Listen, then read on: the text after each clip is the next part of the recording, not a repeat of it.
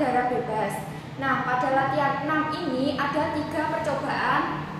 Yang pertama, transpirasi menggunakan larutan kobat klorida 10% yang bertujuan untuk menangkap H2O. Yang kedua, transpirasi menggunakan alat transpirometer yang bertujuan untuk mengetahui penyerapan air pada proses transpirasi. Yang ketiga, menghitung jumlah stomata daun pada permukaan daun dan hubungannya dengan proses transpirasi.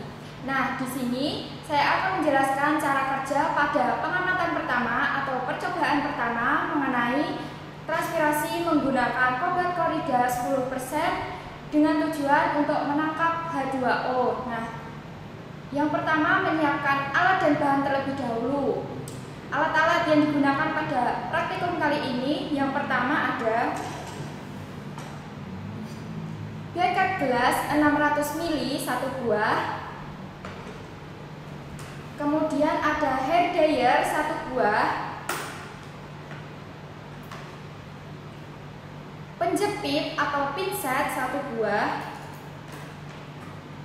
gunting satu buah, stopwatch satu buah, kemudian ada isolasi transparan satu buah. Nah, setelah itu ada bahan-bahan yang diperlukan pada latihan ini. Yang pertama ada kertas saring. Nah, Kertas tarik ini sudah dipotong dengan ukuran 1,5 kali 1,5 cm sebanyak dua buah. Kemudian larutan kobat korida 10% dan yang terakhir ada tanaman. Selanjutnya saya akan menjelaskan mengenai cara kerja pada latihan 6 ini. Yang pertama, menyiapkan tanaman yang digunakan pada latihan ini. Pada latihan ini menggunakan tanaman melati. Nah, praktikan apabila mengerjakan praktikum bisa menggunakan tanaman apa saja. Dengan syarat tanaman itu berada pada daratan dan melihat karakteristik daun yang digunakan. Kemudian menyiapkan potongan kertas tadi dengan ukuran 1,5 kali 1,5 cm sebanyak dua buah. Kemudian potongan kertas tadi dimasukkan ke dalam larutan kobalt korida 10% sebanyak dua buah menggunakan pinset.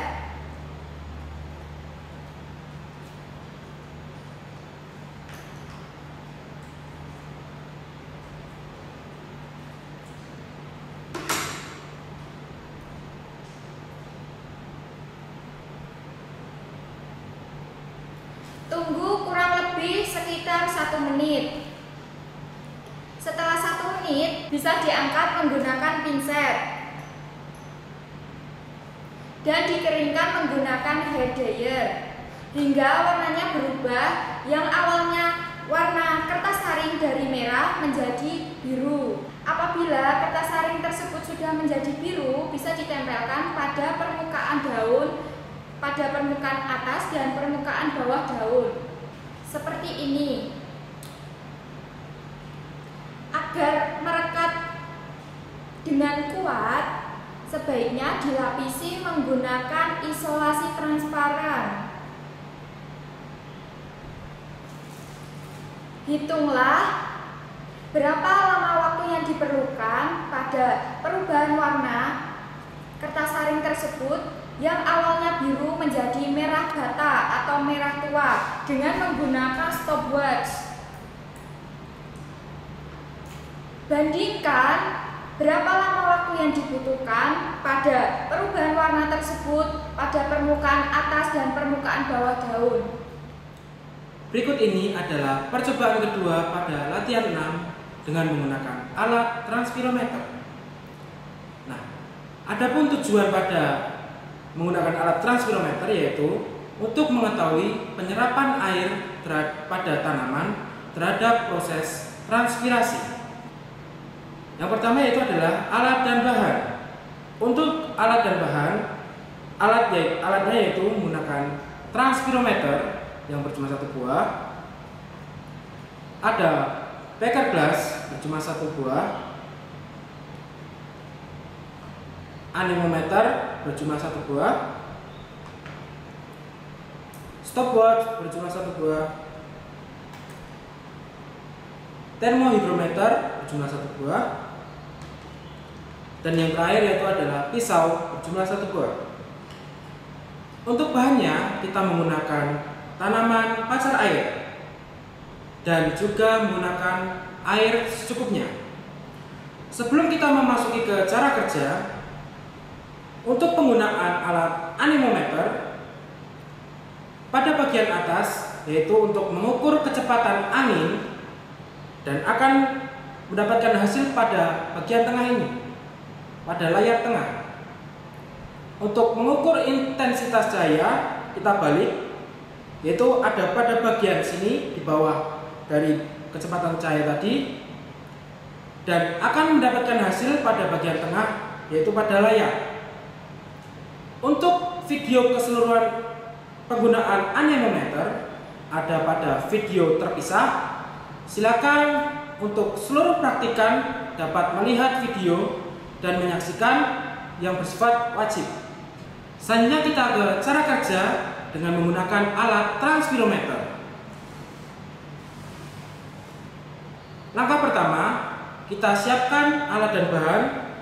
Alatnya kita menggunakan transpirometer dan juga bahannya menggunakan tanaman pacar air.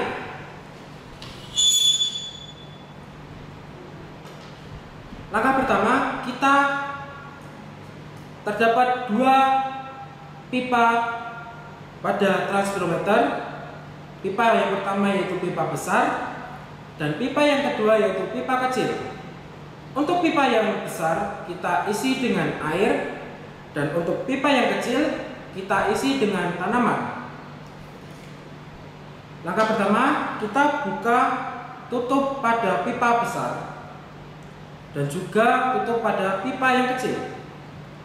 Selanjutnya, kita isi pipa yang besar dengan menggunakan air hingga penuh.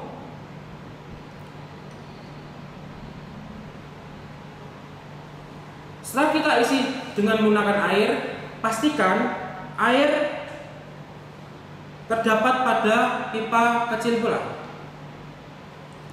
Nah, bila mana air tumpah atau air yang setelah kita masukkan tanaman pacar air di pada bagian pipa yang kecil, kita bisa tutup dengan menggunakan penutup pipa besar. Selanjutnya kita pilih tanaman pacar air sesuaikan dengan ukuran pipa transpirometer.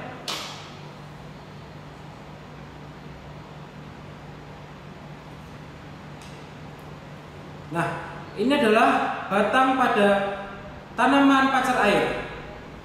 Kita masukkan ke dalam pipa yang kecil. Bila mana pada pipa yang kecil terdapat longgar atau masih ada ruang atau celah, dapat menggunakan vaselin atau bisa kita sisipkan dengan gabus agar udara yang terdapat di luar tidak masuk pada transpirometer atau pipa kecil untuk menghambat jalannya transpirasi. Setelah semua terpasang dengan baik, silakan mengamati kerja dari transpirometer. Bila mana air yang terdapat di bagian bawah sini berkurang, cara kerja transpirometer berjalan dengan baik. Silakan amati apakah air yang ada di bawah ini berkurang atau tidak. Setelah pengamatan, silakan praktikan untuk mencatat hasil pada LKM yang sudah diberikan. Demikian cara kerja percobaan kedua. Semoga ilmu yang saya berikan bermanfaat. Terima kasih. Di sini saya akan menjelaskan percobaan ketiga pada latihan 6, yaitu pengamatan stomata daun. Tujuan dari percobaan ini adalah mengamati jumlah stomata daun pada bagian permukaan daun dan hubungannya dengan proses transpirasi. Nah, alat dan bahan yang diperlukan yaitu untuk alatnya sendiri ada counter sejumlah satu buah, lalu ada objek gelas sebanyak dua buah, yang ketiga ada D-glass sebanyak dua buah, selanjutnya ada cawan petri atau petri di satu buah, Lalu ada pinset tumpul satu buah. Dan juga mikroskop binokuler. Nah, untuk bahan yang kita perlukan yaitu di sini ada tanaman pacar air dan juga ada kuteks transparan satu buah. Berikut ini cara kerja pada percobaan yang ketiga. Pertama, kita perlu menyiapkan terlebih dahulu tanaman pacar air. Selanjutnya, kita menyiapkan kuteks transparan yang nantinya dioleskan pada bagian permukaan daun. Pada bagian permukaan daun bagian atas, kita mengoleskannya di sebelah kiri. Untuk panjang olesan sekitar 1 hingga 2 cm. Selanjutnya, kita mengoleskan kuteks transparan pada bagian bawah permukaan daun di yang berada di sebelah kanan. Seperti ini. Dengan panjang 1 hingga 2 cm.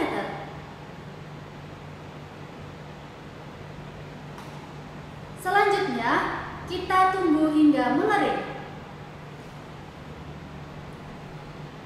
Setelah mengering, kuteks akan terlihat seperti ini. Selanjutnya, kuteks yang telah kering dilepas dengan menggunakan pinsat tumpul.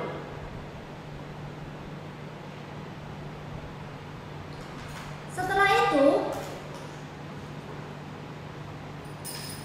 Berikut ini bagian dari kuteks kering tadi yang sudah dibuat. Jadi setelah dilepaskan dari permukaan bagian atas, maka diletakkan di objek gelas, lalu ditutup dengan menggunakan deglas. Maka jadilah preparat yang siap untuk diamati. Begitupun dengan kuteks yang tadi berada di bagian bawah. Juga dikelupas, lalu diambil dan diberikan ke objek gelas dan ditutup menggunakan deglas. Selanjutnya, kita bisa memulai pengamatan dengan menggunakan mikroskop binokuler. Kita bisa mengamati dengan menggunakan mikroskop binokuler dengan perbesaran 10 kali 10 atau 100 kali. Setelah itu, pada perbesaran 100 kali, kita mencoba menghitung jumlah stomata daun dari bagian ujung kanan hingga bagian ujung kiri dengan menggunakan counter. Setelah itu, catat stomata daun yang kalian amati pada mikroskop. Selanjutnya, bandingkan stomata daun yang berada pada bagian permukaan daun atas dan bagian permukaan daun bawah. Mungkin itu tadi rangkaian percobaan dari latihan 6, yaitu untuk percobaan yang pertama mengenai transpirasi dengan menggunakan kobalt klorida Percobaan kedua, proses transpirasi dengan menggunakan transpirometer, dan yang ketiga, pengamatan stomata daun yang berhubungan dengan proses transpirasi. Terima kasih atas perhatiannya. Semoga ilmu yang disampaikan bermanfaat. Tetap semangat dan jaga kesehatan. Wassalamualaikum warahmatullahi wabarakatuh.